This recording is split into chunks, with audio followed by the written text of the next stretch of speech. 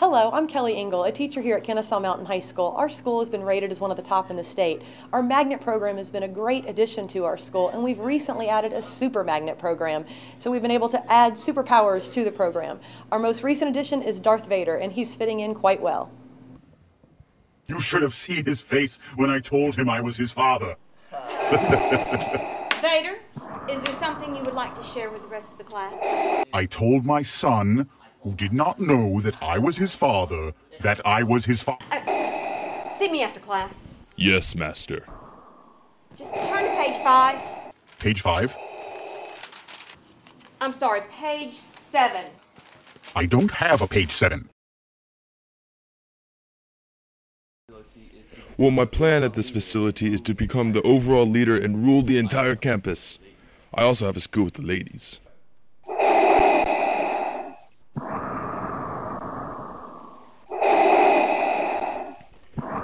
Liz, I was hoping you can accompany me to strolling the Death Star tonight. Not as a date, I just need your assistance to running the place, and I noticed you had really nice eyes, and I needed help to search the corridors for, you know, little critters that run about and maybe some trash. This is all just professional, so don't take this if I was asking you out on a date.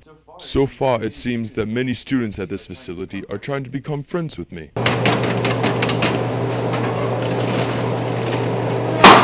Hi, Doc. My name's Taylor. I'm You may dispense with the pleasantries. Yet I do believe that some of my fellow students despise me for my differences. Not to worry, I will crush them when I become the more powerful emperor of this institution. Hey, are you thinking what I'm thinking?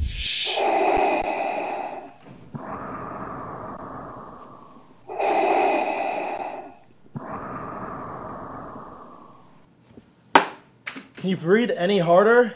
God. Although Darth Vader was the first student to enroll in our super magnet program, I do expect more to come. Thank you, Miss Jordan. As a matter of fact, Harry Potter is enrolling now. What's wrong, Harry? My scar, it burns. What, what does it mean? It means danger's coming.